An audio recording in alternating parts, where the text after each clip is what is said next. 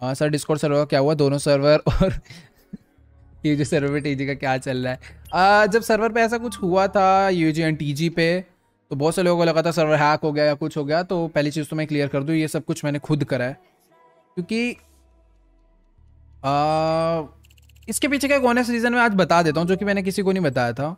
मतलब अपनी ऑडियंस के आगे मैंने कभी किसी को नहीं बताया था। देखो यार डिस्कोड बनाए गेमर्स के बात करने के लिए। मतलब बट मैंने कई चीज़ नोटिस करी अपने डिस्कॉर्ड सर्वर पे भी और बहुत से डिस्कॉर्ड सर्वर पे। मैं मतलब ऐसे किसी का नाम नहीं लूँगा।